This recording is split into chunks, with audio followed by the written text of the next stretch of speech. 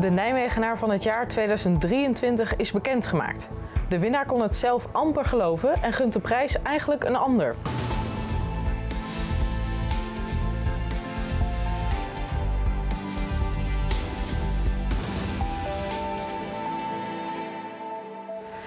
Iris Gorkowski Show, directeur van basisschool De Bloemberg, is maandagavond uitgeroepen tot Nijmegenaar van het jaar 2023.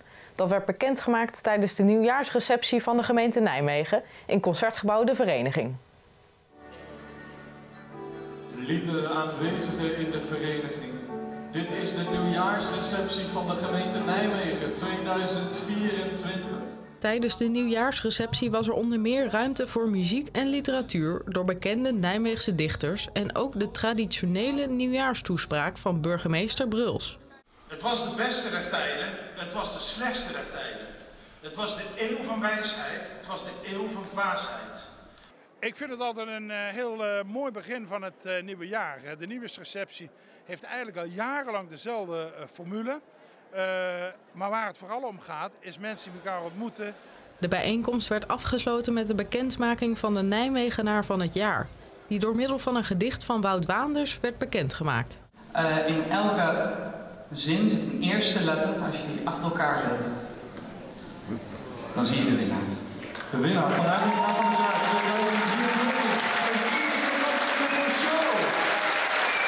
Dave for Show werd nogal overvallen met de winst en had liever gezien dat de mede-genomineerde Larry Grote er met de prijs vandoor ging. Ik ben nog steeds niet van de schrik bekomen, dus uh, ja, ik weet het niet hoe het voelt.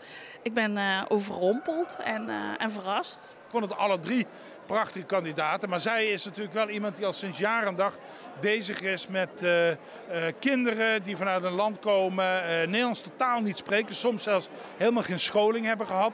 Het is zo super belangrijk dat je leert lezen en schrijven in het Nederlands. Ja, zij is een prachtig voorbeeld van iemand die die boodschap ook probeert toe te passen in de, in de praktijk. En vooral de manier waarop ze het uh, doet, hè, met, uh, als een soort moeder van die school. Voor Day for Show is het allemaal wat overweldigend. Wat zijn nou uw goede voornemers hè, als directrice van de Bloemberg in het nieuwjaar en nu dus als Nijmegenaar van het jaar?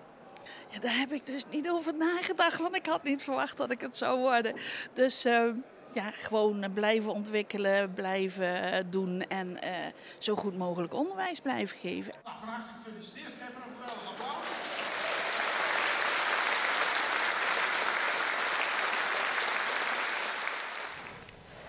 HIV, een seksuele aandoening waarover men vaak niet durft te praten. Dat slechte imago, daar moeten we vanaf, vindt ook fotograaf Marjolein Annegarn. Zij heeft een fototentoonstelling opgesteld in het Radboud UMC in de hoop het stigma te doorbreken. Uh, het is een tentoonstelling van uh, 19 mensen die leven met HIV, maar daar niet open over zijn. En ze zijn daar niet open over, omdat er nog steeds heel veel uh, vooroordelen en stigma heerst. waar mensen die leven met HIV heel veel last van hebben. dat, daar, op ieder gebied hebben ze daar last van, in hun werk, bij nieuwe relaties. maar ook zeker in de zorg, in het ziekenhuis. Wij, wij zijn natuurlijk al een heel eind gekomen, hè? de zorg voor mensen met HIV. En je merkt dat ehm, in onze maatschappij uh, HIV niet makkelijk besproken kan worden uh, met buren, vrienden, familie. mensen houden HIV heel erg bij zichzelf. Mensen komen natuurlijk wel altijd in de zorg en moeten daar zich wel hè, laten horen dat, er een, dat iemand HIV-positief is. Manon, verpleegkundig specialist aan de Radboud UMC, heeft ook onderzoek verricht naar het denkbeeld over HIV. De reacties op dit onderzoek bevestigen het stereotype. En toen heb ik echt specifiek onderzoek gedaan uh, onder zorgverleners. Uh, en om te kijken van ja, hoe ervaren zij heeft, hoe kijken ze daar tegenaan. En ja, dan kreeg je wel vaak in de interviews die ik heb op afgenomen reacties als zijnde van eigen schuld, uh, had je het maar veilig moeten doen. Um, en ook andere termen als het zal wel een homoseksuele man zijn. Uh, dus dat zijn wel veel voorkomende termen die, die ook terugkwamen in, het, in de interviews die ik heb afgenomen destijds.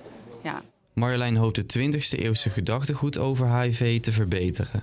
Ja, dat stigma uh, op HIV dat heeft te maken met de beelden uit de jaren 80 en 90. Uh, toen was het natuurlijk een ziekte die niet te genezen was, waar je aan dood ging. Waar heel veel uh, sprookjes omheen hingen van hoe je het zou krijgen. En mensen hebben nog steeds die vreselijke schrikreactie. Want het was in die tijd ja, voor iedereen die seksueel actief was een grote angst om HIV op te lopen. Het beeld van Marieke van Nijmegen is weer teruggeplaatst op de Grote Markt. Vorige maand werd het beeld daar weggehaald om plaats te maken voor het glazen huis van radiozender 3FM. De verwijdering ging niet helemaal goed, waardoor het beeld direct gerestaureerd moest worden. Inmiddels schittert ze weer op haar vertrouwde plek. Nee, het is hartstikke mooi dat Marieke weer in het hart van de oudste stad uh, van het land uh, staat. En het beeld is natuurlijk uh, sinds de jaren 50 hier voor het eerst geplaatst werd. Echt wel het symbool geworden van ja, de meest bekende Nijmegenaar die nooit geleefd heeft. En dat is Marieke van Nijmegen. Ja, ik ben heel tevreden. Daarom ben ik ook bewust zelf even gekomen. Het was natuurlijk vooral ook wel opwinding en wel wat angst. En nou, ook een beetje boosheid bij mij toen de verplaatsing niet helemaal soepel ging. Hè. Ze, viel, ze viel om. Gelukkig bleek het herstel uh, heel makkelijk uh, te gaan, uh, weinig schade. En nu is ze weer helemaal klaar voor de komende tientallen jaren. En dat zal ze ook, en ik hoop nog heel veel jaren daarna, blijven staan. De gemeente Bergendal gaat het Kerkplein in Bredeweg vergroenen. Stenen op het plein maken plaats voor groen, zoals planten en bomen. In een groene omgeving is minder wateroverlast en verdroging. Regenwater kan wegzakken in de grond en komt daardoor niet in het riool terecht. Dinsdagmiddag werd symbolisch de eerste steen verwijderd door wethouder Ria Barber om de start van de metamorfose in te luiden. Uh, we weten met z'n allen dat we overal gebeurt het langzamerhand dat er heel veel, steen, heel veel versteend is in allerlei gemeentes. En uh, ja, die stenen moeten er gewoon uit. Uh, we hebben hier bijvoorbeeld heel veel last met de grote regenbuien, wateroverlast. En daarnaast zien we steeds meer de hitte. Nou, je kunt je voorstellen, die stenen hier allemaal, wat een hitte dat die uit gaan stralen. En daarnaast uh, wordt het ook veel mooier natuurlijk. Het wordt veel groener. Uh, vooral aan deze kant gaan we dat doen. Aan die kant uh, blijven wat parkeerplaatsen wel. En hier in dit dorpje zijn ook wat kleinere evenementen. En die kunnen ook nog op het plein plaats vinden. Maar het zal ook leuker worden, want in een mooie groene, groene omgeving is zoiets ook veel leuker om te doen, denk ik. Met gevoelstemperaturen van zo'n min 15 graden moet er flink gestookt worden om je huis warm te krijgen. Met de huidige energiekosten is dat niet voor iedereen weggelegd. Het leger des Heils biedt daarom zogenaamde warme kamers aan. Speciale plekken waar je gezellig op de koffie kunt komen en waar het altijd behagelijk is. De warme kamers zitten door heel Nederland. Eigenlijk elke locatie van het leger des Heils is tegenwoordig ook weer een warme kamer. En het leger des Heils heeft ook zoveel mogelijk locaties zoals bibliotheken en wijkcentra opgeroepen om uh, zich erbij aan te sluiten. Iedereen kan naar een warme kamer toekomen, dus dat uh, maakt eigenlijk helemaal niet uit. Uh, maar we zien vooral natuurlijk veel mensen die uh, niet zoveel geld hebben, uh, die hier naartoe komen omdat zij de hoge energiekosten niet kunnen betalen. In de warme kamers worden ook verschillende activiteiten georganiseerd. Elke warme kamer is anders. bij ons is het vooral heel veel gezelligheid, als in koffie drinken met elkaar. We hebben een puzzel, en we hebben een krant. Um, dus het is eigenlijk gewoon heel erg laagdrempelig om hier te komen zitten. Maar elke locatie heeft zijn eigen specialiteit. Nijmeegse rockband Sonic Whip gaat op tournee in Engeland. Vorig jaar werd hun nummer Space uitgeroepen tot Song van het jaar door de Britse radiozender Radio Wigwam. Voor de jongens het teken om een tour te starten in het land. Ja, eh, we gaan dus in Engeland toeren. We zijn vorig jaar zijn we genomineerd voor beste song van het jaar bij een radiostation in Londen. En uh, nu zijn we uitgenodigd om daar uh, te komen spelen. En nu, nu kunnen we daarheen, gaan we daar toeren, gaan we een paar optredens doen. Maar ja, dat kost natuurlijk heel veel geld. Dus uh, ja, daar we een crowdfunding zijn we voor gestart. Ja, we moeten kijken hoe we de instrumenten meekrijgen. Zeg maar, de reizen toe is altijd uh, best wel, best wel een, een, uh, een, ding. Want we moeten met de trein in plaats van met het vliegtuig, zodat we de gitaren mee kunnen nemen. daar zelf we kunnen niet alles meenemen. Bijvoorbeeld drums en zo, dat, dat is veel te veel. Dus dat moeten we daar allemaal regelen. verblijven zo, dat is allemaal, dus heel veel contacten daar op doen. En dan hebben we het zo een beetje voor elkaar gespeeld.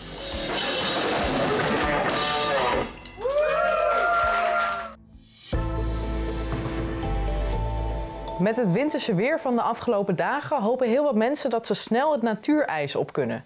In Bovenleeuwen zijn ze dag en nacht bezig om de ijsbaan bij de Dulper gereed te maken.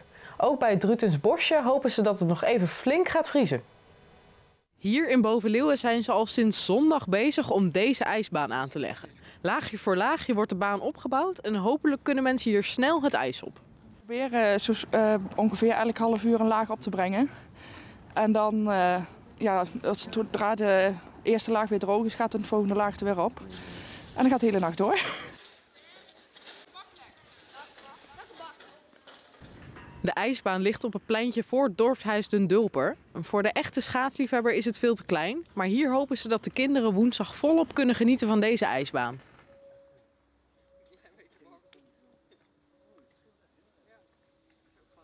In Druten hebben ze ook nog de hoop dat er deze week geschaatst kan worden. In het Drutens bosje is de ijsbaan onder water gezet. En inmiddels ligt er een laag ijs, maar deze is nog wel te dun om op te schaatsen. Dus het is nog maar de vraag of het gaat lukken. Ja, het ijs is op het moment een 3, 4 centimeter dik. Wat er zit in het midden, zit er nog een wak in. En dat wil niet dicht gaan. En dat is lastig natuurlijk. Kijk, het moet wel helemaal dicht zijn. Waterschap Rivierland heeft recentelijk een waarschuwing afgegeven voor schaatsen op de momenteel ondergelopen uiterwaarden. Hoewel de afnemende waterstanden en de verwachte vorst kunnen leiden tot ijsvorming, benadrukken experts de onbetrouwbaarheid van dit natuurlijke ijs. Als het waterpeil daalt, kan er lucht onder het ijs ontstaan, wat het aanzienlijk verzwakt. Het advies luidt om de natuurlijke ijslagen te vermijden en in plaats daarvan te kiezen voor gecontroleerde omgevingen, zoals opgespoten natuurijsbanen. Kijk, als het door blijft vriezen en dat gat wil dichtgaan, dan zit er die mogelijkheid in dat het, het gaat lukken.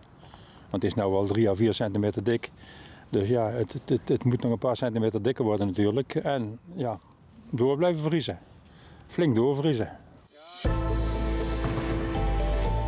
Het was vandaag weer een echte ijsdag en dat was ook zeker te voelen. De temperatuur kwam niet boven het vriespunt uit, maar door de koude oostenwind was het gevoelsmatig niet warmer dan min 7. Vannacht krijgen we opnieuw met matige vorst te maken. Het kwik zakt terug tot zo'n 8 graden onder nul en in de ochtend is de gevoelstemperatuur wederom min 13 graden. Kleed je dus goed aan.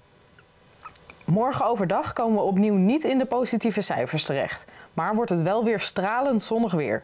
Hierna krijgen we nog één koude nacht, maar verderop in de week draait de wind, wordt er minder koude lucht aangevoerd en zijn we weer even af van de vorst. Tot zover het RN7 Regio Nieuws van dinsdag 9 januari. Houd voor het laatste nieuws onze website in de gaten en volg ons uiteraard ook even op de sociale media. Morgen in onze uitzending gaan we langs bij schaatsers op natuurijs en zie je de bijzondere foto's van Kelly van Rossum. Graag tot dan.